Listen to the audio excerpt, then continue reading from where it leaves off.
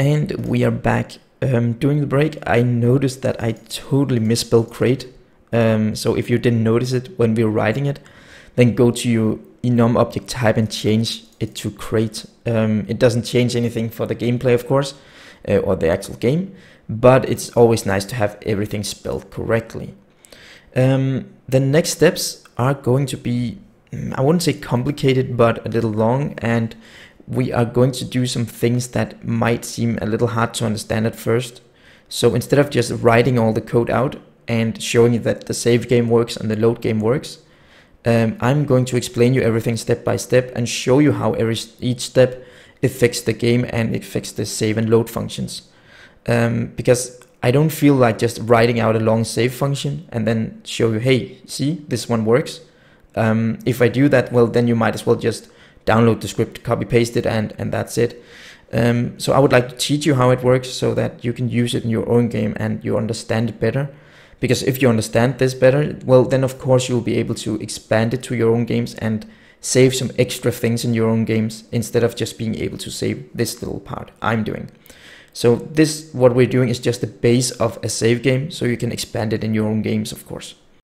Okay, so the first thing we'll have to do is to go to the save game manager because there's one thing here I would like to explain you. Um, if you look here on line 9 in my script, we have this list called savable objects. And we will need to make sure that every single savable object we create is added to this uh, specific list. And why do we need to do that? Well, it makes it way easier for us later when we need to save the objects. Well, then we can just run through this savable objects list and call the save function on each object. Um, so the save function in the save game manager will basically loop through this list and make sure to save every single object. So some of you might think, well, why don't we just find all objects of type in our game world and call it there? Because then we don't need to use this list ourselves. Well, you could do that, but it's going to be way more expensive than just creating your own list. Because let's say we have a game with 100 objects in it. Well, then you need to look through every single object in the game and check, well, is this object a savable object? Is this object a savable object? And when you finally find, find a savable object, you'll need to call save on that one and move on to the next one, for example. So it is way cheaper. Let's say we have 100 objects and only 10 of them are savable. Well, then we only loop and look at those 10 objects and save them instead of looking at 100 objects and then passing by 90 of them uh, and not using them. So that's why it's cheaper. But we need to tell our savable objects to add themselves to this list. So if we go to our specific object, uh, not specific, savable, and the reason we do it in the savable object instead of the specific is because our specific if of type savable. So it's also going to be added to the specific object, this functionality here. Okay. If you haven't done it already, you will have to go to your specific object and remove the start function here. Um, the reason that I'm removing the start function is that if I have the start function inside the specific object, and I want to add some stuff to the start function in my savable object, well, then the specific object start function is going to override the savable objects function so that the savable objects function will not be called because there's a start down here. So we have to remove the start to make sure that our savable objects function can be called. Okay. So now we need to add our object to the list. So we need to tell, well, when we spawn a savable object, we need to tell this object, hey, you're a savable object. You need to add yourself to the save game manager list. And we can do that by saying save game manager dot instance dot um, savable objects dot add. So as I stated, a list is a collection of objects um, or variables. Um, and to add something to that list, you simply has to call the add function. So you take the savable object dot add, and then you give it whatever you need to add to it. Let's say this. So we add this savable object, it adds itself to this list here. So every time we spawn a new object, it's going to say, hey, I'm a spawnable, a savable object. Save game manager that instance to savable objects. Can you please add me to your list? And then it does so. So the more objects we have in our game that are savable, uh, the more objects will be added to this list. The next thing we'll have to do is to make sure that our savable objects list is instantiated. So we need to go to save game manager and inside the awake function here, we'll have to say savable objects equals new list, savable objects.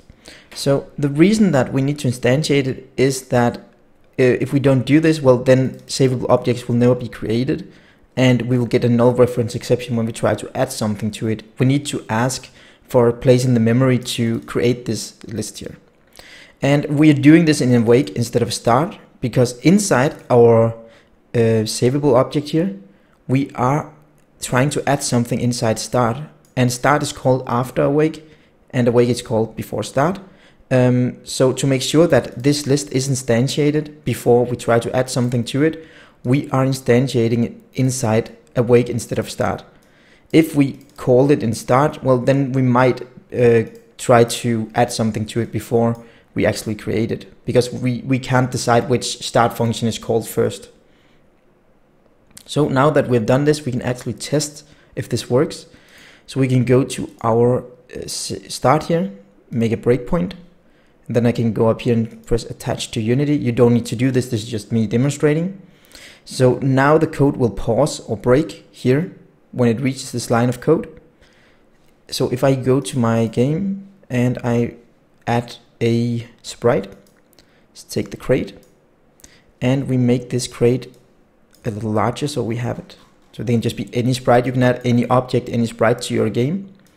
And we'll have to click create and create empty and then rename this one to um, save game manager. So this is our save game manager script. And then add component and write save game. So we add the save game manager script to our uh, save game manager empty object. Okay. So the next thing we'll have to do is to make sure that our crate is a savable object. But we don't need to add a savable object script to it like this because the savable object script is the superclass or the parent class to all the objects that can be saved. So it only has all the base functionality and all the specific functionality is in the specific object, which could be a uh, we could rename that um, script to a crate script or a mushroom script or something if we wanted to do that.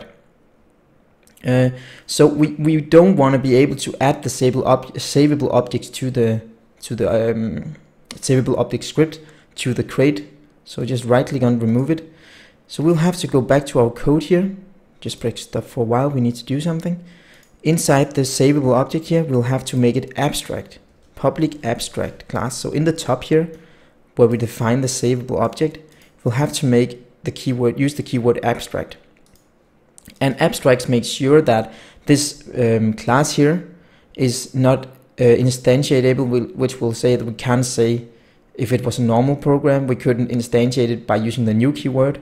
Or in this case, we can't add the script to any uh, game object because we only want to be able to add the specific object to a game object in um, a, the specific object script to a game object in our game. Um, so now if I would try to go to the script here and take my uh, savable object and add it, then it will come up with this message that the script class can't be abstract. So that's exactly what we want to do because we want to be able to take our specific object and add it like this. So if you have a hard time understanding this, if we take another analogy, like let's say we have a zoo game with some different animals in it, and we have a superclass instead of our specific uh, the savable object. We have a, a, class called animal, and in the zoo we have a, a giraffe and we have a lion, and the, the, giraffe and the lion should be able to be added to the scripts in the uh, the game objects in the game, but the animal script alone shouldn't be able to be created as a standalone thing. So we make it abstract because we don't know what color an animal has. We don't know what how many legs one animal has. We don't know what it eats and so on because animal is a general term and the same goes for the savable object here.